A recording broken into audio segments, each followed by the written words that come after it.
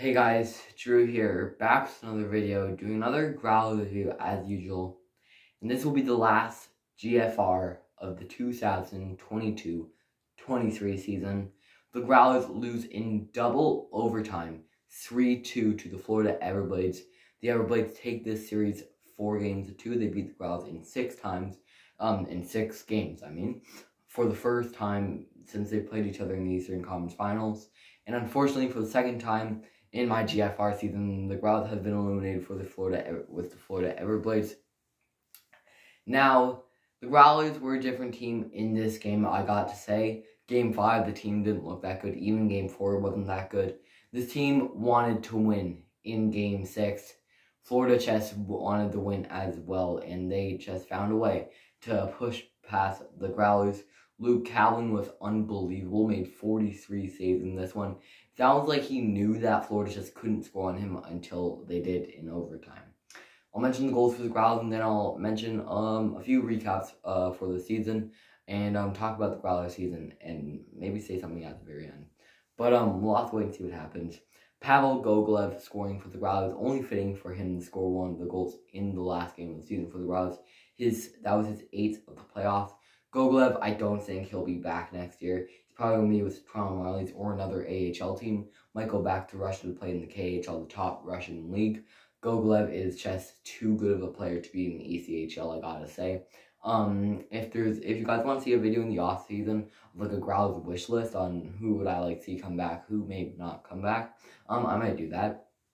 And then the last goal of the Growlers season goes to none other his first of the Eastern Conference Finals, Tyler Boland.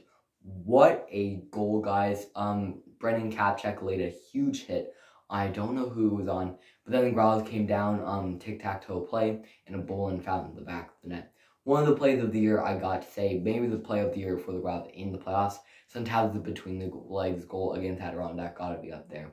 But that goal for the Growlers was huge. The goals for um, the Everblades, Will Calverley gets one for them, Logan Lambdin, and then John McCarron. Of course, it's McCarron that gets the OT winner. He got the game winner in the last game, and he gets the OT winner in this one. Came out of retirement halfway through the season, and he scores the OT winner goal to send Florida to the Eastern Conference Finals. Florida didn't seem to sally as too hard um, since they were going to the Eastern Conference Finals. They might be in danger, though. They're playing the Idaho Steelheads in the finals. I think Idaho got that one, guys. Sorry to tell you, Everblades fans, but Idaho's just a really, really good team. Growlers fired 36 shots on Cam Johnson. Cam Johnson had a pretty good game, I got to say. He looked pretty confident and comfortable in the back of the net. Um, and it's just the way it goes, guys, I guess. Um, at the end of the first period, it was 1-1. At the end of the second period, it was 2-2. Third period, still 2-2. OT, still 2-2. And it ends in overtime 3-2. As I said before, Florida didn't sell it too hard when they scored the OT winner. I was expecting like Florida to go nuts and like jump the boards or something like that. But um, they they pretty cool it. The fans um gave the Growlers a round of applause when they were in the handshake line. And now the Growlers I gotta say, this year felt a little different from all the others. The ECHL first year, it felt like this team was pretty good. Um, they they felt good against every single team, even when they played the Everblades in the Eastern Conference Finals. They looked pretty comfortable. Comfortable. Even with the Walleye, the Walleye tried to make them not feel too comfortable, even injuring Josh Kestner and um, putting him on a stretcher. But the Growlers were able to win that one in six.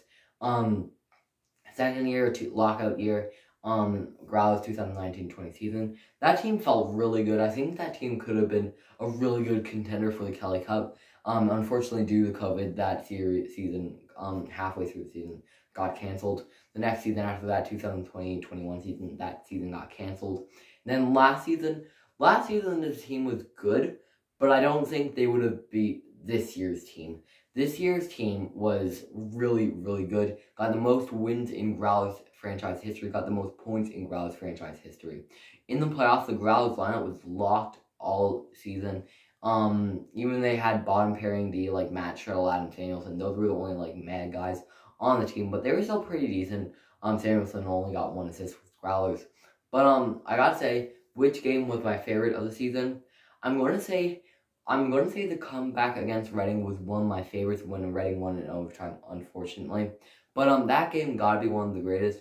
When there was a giant brawl against Maine, that was a really good game, I got to say.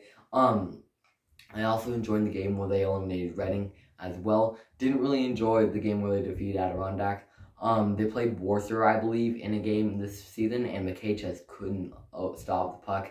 That game was pretty rough as well. But, um, yeah, um, there was one slump um, in the Growler season. There might have been two. And then there might have been a part of the season where they were absolutely unbelievable. This season, though, I gotta give the Growlers like a maybe I'll give it an A minus for the Growlers. They probably would have got like an A or an A plus if they made the finals and possibly winning it. I gotta say, if the Growlers won this OT winner, do you think they could win if they played tonight? I really don't know because if the Growlers did win in overtime, they would be pretty tired for tonight's game. And I mean, the Everblades, they'd be coming out mad. Um, but um, regardless, I don't know what would have happened. If you guys had a prediction, if the Growlers ended up winning, and maybe would they have won against Idaho? I don't think so. But um, yeah, so I don't know what I'm going to do in the off season. I'm thinking I'm going to do something similar. I'm not going to post too much in the off season. Um, maybe if the Growlers make a signing or the Marlies make a signing with a guy who could possibly come down to Growlers. Some guys I can see coming back with Growlers. First of all, Todd Skirving is probably going to come back. He might have the C on his chest next year in a Growlers uniform. Zach O'Brien I may see coming back. Same with O'Brien though, he had a good season in the AHL, played six games for the Marlies and he had six points. Like a little chance that it'll go to the Marlies next year maybe Tyler Boland will come back to Newfoundland. I'm expecting him maybe to come back. He's 20. He's be 27 when the season starts next year. It's a little older for Boland, um, but I wouldn't be too mad if he joined the team next year. Um, some noticeable guys that may go. I may see, as I said in the beginning, Gogolev may go. Centazzo, um, I'm expecting him with the Marlies next year. Same thing for Solow. Um, there's a few other guys, Tyconic, I don't see coming back. But um, there's a few guys that may come back um, that you don't see much. Um, Brennan Kapcheck might come to the team next year. We're going to have to wait and see what happens, though. So, that's going to do it for these guys. I hope you enjoyed the season of GFR. I tried really hard to do my best in these guys' videos. I still remember thinking about opening it up here in the studio. It, has been a good year, I got to say. What a year for the Growlers, and what a year for GFR. This is the first year ever having a studio. I started off last year actually with a Habs flag in the background. You guys have had a ton of support this season. I have 174 subscribers. Never hit 200 by the end of the playoffs, but who knows how much subscribers I'll have when we start this year's um, regular season as they have their fifth anniversary season for the Growlers. But um, I hope you guys enjoyed this season of GFR. Even the opening game against Reading, I'm still remember the game. Um, it felt like yesterday when the season started, when I started this. Um, I hope you guys have a great summer, great off season. Stanley Cup playoffs are still on. CBL basketball will be on, and the Newfoundland Rogues are still in the playoffs. So if you St. John's fans want to go see your sports team, um, the Rogues are definitely a good choice to go to. So until next time, that's going to be it for the guys. I hope you enjoyed.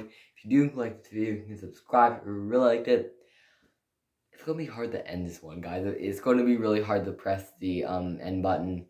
But until next time, I'll see you guys again for season five, um, season three of GFR, season five for the Growlers.